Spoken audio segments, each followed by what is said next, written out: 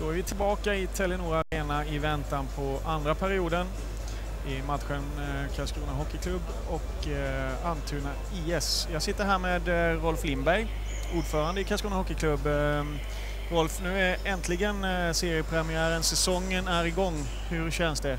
Det känns otroligt skönt, spännande, härligt.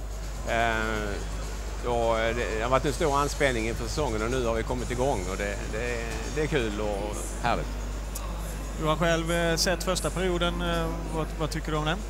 Ja, vi börjar ju som vi ska spela hockey, full fart och, och häftigt anfallsspel. Eh, fick ett olyckligt mål i baken, drog ner tempot lite men jag tycker ändå vi har dominerat första perioden och eh, kom tillbaka och kvittera. Ser fram emot andra och tredje perioden. Jag vet att eh, du har varit och träffat Hockeyallsvenskan i dagarna och kom hem idag. Eh, vad har det gett och vad har det resulterat i?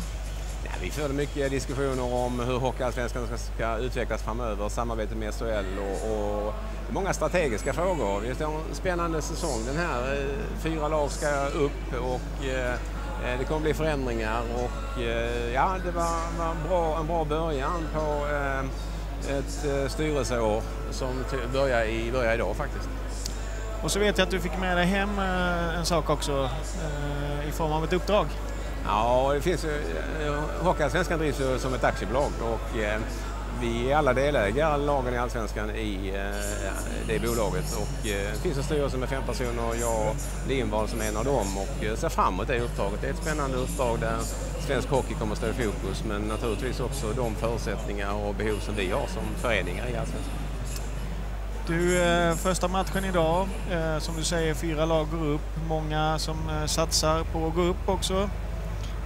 Vad är dina tankar kring, kort, kring säsongen? Jag tycker vi har, gjort en eh, vettig satsning. En, en satsning som är tillräckligt stor för att vi ska kunna vara med och kriga här i mars-april. Sen får vi se hur långt det bär. Men, men, men eh, eh sen finns det kanske andra lag som har spänt bågen lite väl hårt och hoppas det håller för dem. Så att säga. Du, en, eh, innan jag släpper dig så vill jag ha en gissning på matchens utgång här. Vem vinner och vad blir det för slutresultat? jag tror det blir otroligt jämnt där ute men, jag tror vi, vi eh, går ifrån till 4-2 eh, här i, inför slutet. Sen får de en, en puck i tomkassen. Men, eh, eller vi får en puck i tomkassen. Okej, okay, vi, får, vi får se om, om Rolf får rätt. Jag tackar så mycket Rolf och lycka till framöver. Tack så, Tack så mycket. Tack.